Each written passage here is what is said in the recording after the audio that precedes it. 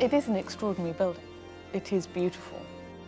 It has this atmosphere that is really warm and welcoming and historic.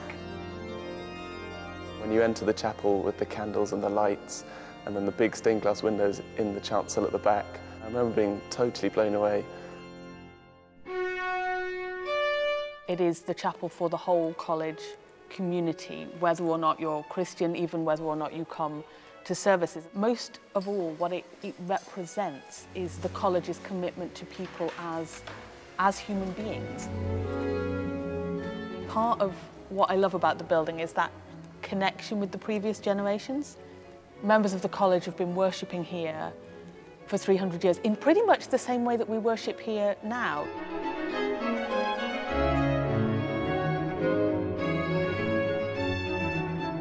The chapel, in many ways, sums up the ambition of what the fellows of the early 18th century were trying to achieve. It was built between about 1714 and 1719 as part of a plan to demolish all of the existing buildings and rebuild the college in one classical style. This is in some ways, I think, more reminiscent of a Roman temple than a typical medieval English Gothic church. And it was that idea of ancient Rome which was inspiring the fellows this rebuilding of the college is also a visible representation of the college's increasing intellectual ambition.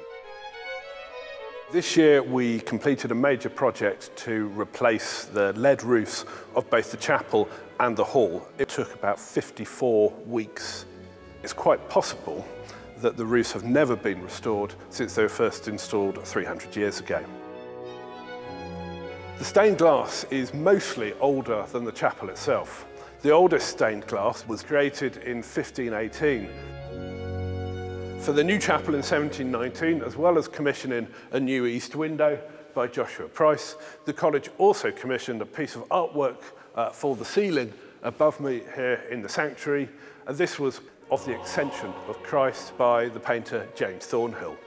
In 1719, the chapel would be very much at the heart of college life, Queen's, like all Oxford colleges, was an Anglican institution. Every fellow would have been ordained members of the church. That, of course, has changed a lot, particularly in the last 100 years. There had been proposals for uh, updating and changing the chapel and, and going with the, you know, what was the latest fashion in the 19th century. And the fellows didn't go for it. They were northerners, um, as I am, and they, they weren't going to go with these latest fads that were fashionable in the south. And, and actually, as a result, they've ended up preserving this beautiful 18th century space. So this is the bell tower. This is a, a part of the college that not many people get to see. We have um, a bell tower team and a captain of the bells the captains of bells do leave their, leave their mark here, and that goes all the way back. So we've got one here that um, says R. Gandhi DD 1779, and we've got one there from 46. And we've got a few names uh, at the top and on the side that I recognise from my time as well. So it's uh, uh, very much a tradition that continues.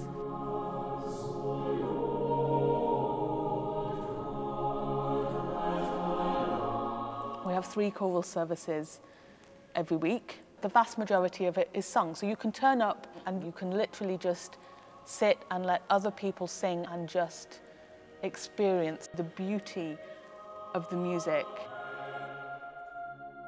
I sing in the choir here, and it's a place I come three times a week, if not more.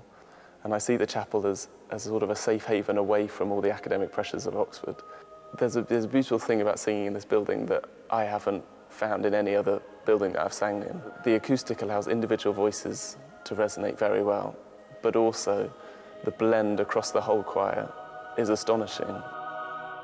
I've been conducting concerts in here actually for several years before I arrived as uh, Director of Music at Queen's, and it was my favourite space for music making in Oxford even then.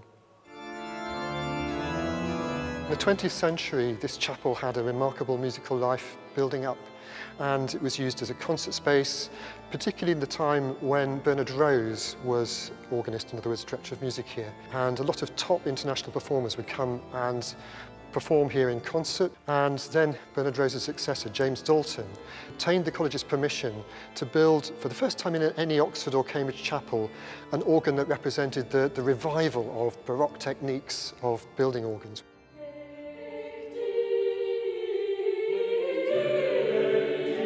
Think of this as a place of academic excellence, but actually it's a place that celebrates and nurtures talent and excellence of, of all kinds and that you find in, in everybody around you in the college. It all combines to give this feeling that this chapel has seen hundreds of years of worship and hundreds of years of undergraduates coming along unwillingly and willingly and sitting here tired and worried and stressed, but getting a sense of peace. The fact that the college has and continues to invest in this space and in my role and in the choir here is that commitment to the idea that what we're doing here is not just about getting degrees or getting papers published. It's actually about a community that is seeking truth and seeking meaning, and that education is about growth in all those ways.